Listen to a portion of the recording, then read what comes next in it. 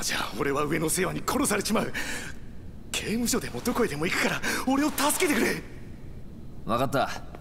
とりあえず俺のアジトまで来い。警察で保護の体制が整うまでの間そこでしばらく。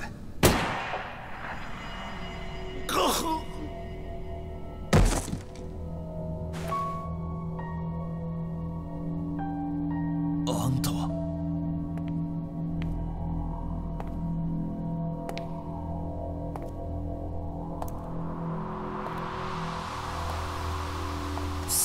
内さん。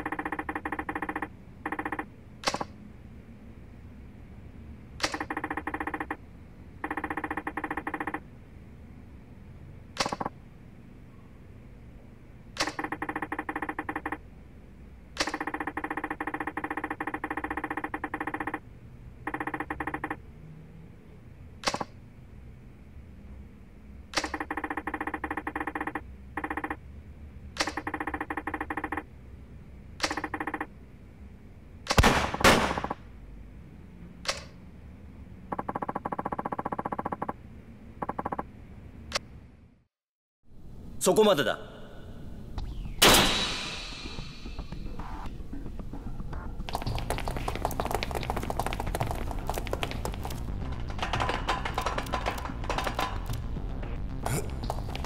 これは。ここまでだ杉内。お前が上の清和会の勝凪と内通していたことは割れている。無駄な抵抗はやめておとなしく投降しろ杉内さん。もう終わりにしましょう。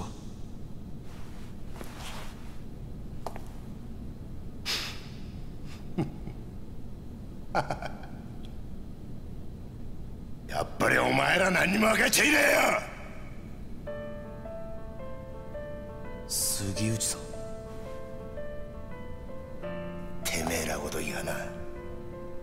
俺の正体知ったとこで結局何にもできやちなんだ。じゃあ。動くな。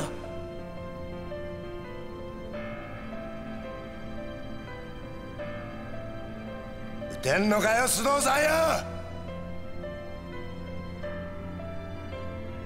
ここで撃ったらあんた終わりだ。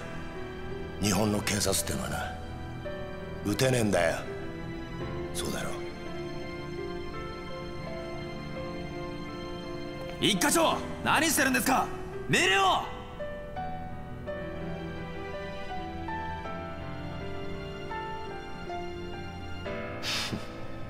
これが警察って組織がひしこいて守ってる。正義ってやつだ。お前にも分かったか？じゃあな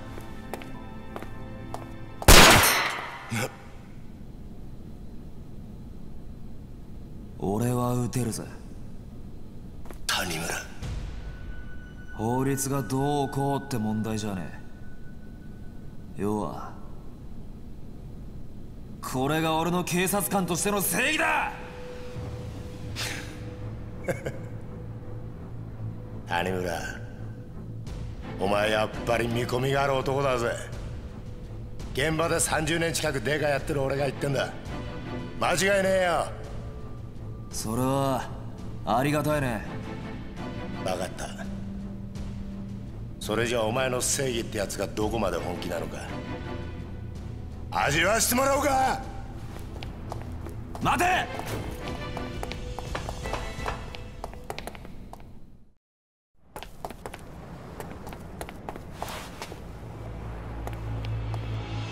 杉内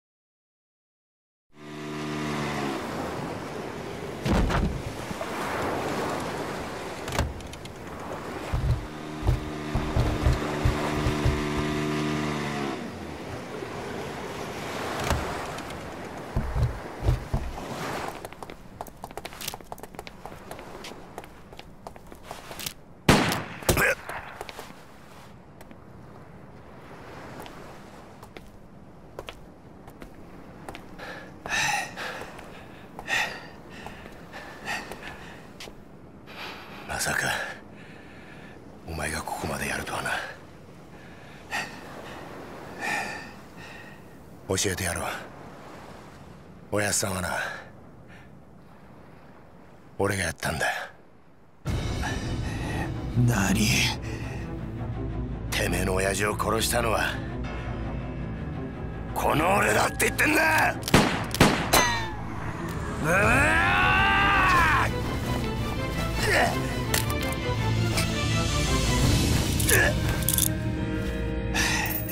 もう逃がさねえぜ。手錠かけたくれでな。捕まえたと思ってんじゃねえぞ。谷村